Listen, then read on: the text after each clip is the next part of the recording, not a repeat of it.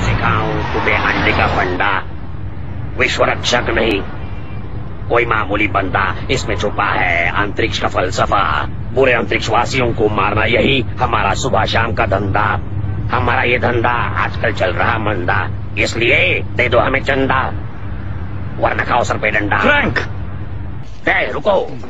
बड़ी मुश्किल से मौका मिला है वरना ज़िंदगी भर चिट्ठिया बांटता फिरता। सूट निकाल के फेंक दो। बिल्कुल दोस्त कोई दिक्कत नहीं है बस अपना अंदाज थोड़ा बदलना चाहता हूँ। पर ये कहना पड़ेगा कि इसमें थोड़ा पतला लगता हूँ है ना? ऐसा नहीं है कि मादाएँ मेरी तरफ़ आकर्षित नहीं होती है पर इससे तो वो मेरी तरफ़ खींची चली आएँगी। वाह क्या गाड़ी है। सीट मुलायम तो है ना? क्या है कि कभी कभी मुझे खुजली हो जाती है? क्या बताऊँ दोस्त मेरी ज़िंदगी में बहुत सी गर्लफ्रेंड्स आई लेकिन पहली लंगड़ी थी दूसरी अंधी थी तीसरी काणी थी चौथी बहरी थी। हंस रही रही मेरे दिल में कभी कोई प्यार करता। फ्रैंक तुम्हारी बातों में मुझे कोई दिलचस्पी नहीं है समझे? ठीक है ठीक है। ए, रुको।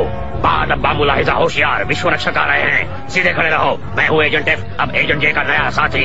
अपना अपना काम करो देख क्या रहे हो हाँ? फ्रैंक मुँह बंद रखो। बच्चे हैं? नहीं। चाहिए? क्यों लड़की को पटाया? हे वो लड़की एक अपराध की गवाह है और कुछ नहीं। झूठ बोले कौवा काटे। तुम्हें वो अच्छी लगी है कि नहीं? मेरी बिरादरी की नहीं है लेकिन मुझे भी अच्छी लगी। तो अब मुझे प्यार मोहब्बत की सलाह ऐसे जीव से लेनी पड़ेगी जो अपनी ही पूंछ के पीछे भागता रहता है। देखो दोस्त कभी कभी गधे को भी बाप बनाना पड़ता है समझे? है सुनो पार्टनर मैं दिखने में कुत्ता लगता हूँ पर मैं ऐसा सिर्फ़ पृथ्वी पर दिखता हूँ। जो भी हो मुँह बंद रखो। रानी हाथी का खंडाला। कहा है के को लाने जा रहे हैं? एक आदर्श एक मिसाल। तुम्हारा गुरु वो शख्स जिसने तुम्हें वो सब सिखाया जिसका तुम दिखावा करते हो विश्व रक्षकों के इतिहास का सबसे महान मुँह बंद रखो। बहुत अकड़ू बन गया है ना?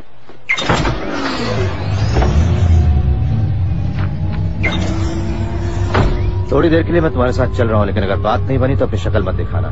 कैसे हो के? थोबड़ा क्यों लड़का रखा है? फ्रैंक यस बॉस मैं चाहता हूँ कि इस काम में वो दोनों साथ रहे। मर गया। लेकिन मैं एक नया असिस्टेंट ढूंढ रहा हूँ। देखो उन दोनों के काम में दांत टूटने का डर है। दांत?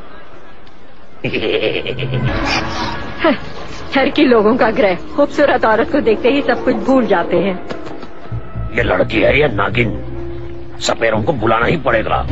तुम कहाँ हो फ्रैंक हे तुम लोग कहा हो मेरे दोस्त? हम पानी के ज़रिए बाहर निकले थे। हेडक्वार्टर पर हमला हुआ है। हमला किसने किया? कोई बहुत खूबसूरत और खतरनाक लड़की थी। क्या मैं उसका पीछा करूँ? नहीं तुम जहाँ हो वहीं रहो। ठीक है जहाँ हूँ वहीं रहता हूँ। कहना आसान है इसके बाप का क्या जाता है? तुम्हें फिर मैंने कहा है सलीना क्या सोच कर यहाँ आई थी कि फ्रैंक खुश होगा शाबाशी देगा? क्यों? चले जाओ यहाँ से फ्रैंक। कहाँ हो तुम? मैं पास वाले कमरे में बैठा हूँ। सच में मुझे तुम्हारी बहुत याद आएगी। तुम बहुत अच्छे आदमी थे। अरे आत्मा को शांति मिले। ऐसी बात में तो मैं भी माहिर हूँ। लड़की कहती है कि दूर रहो तो मतलब होता है पास आओ। आओ क्या हुआ? कहीं जा रहे हो क्या? मेरी सलाह चाहिए। नहीं ना कोई सलाह और ना ही कोई बात।